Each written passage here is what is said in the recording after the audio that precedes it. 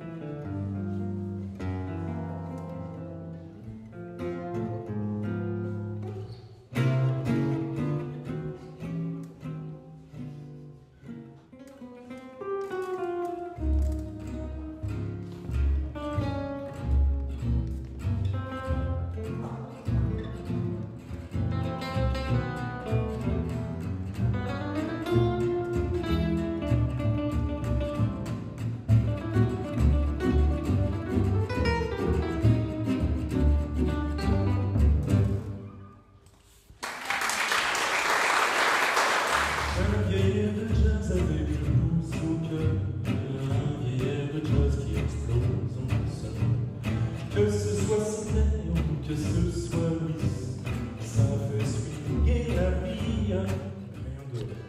Enfin, ça, je vois. On regarde tout de suite qu'est-ce qui va se passer. Euh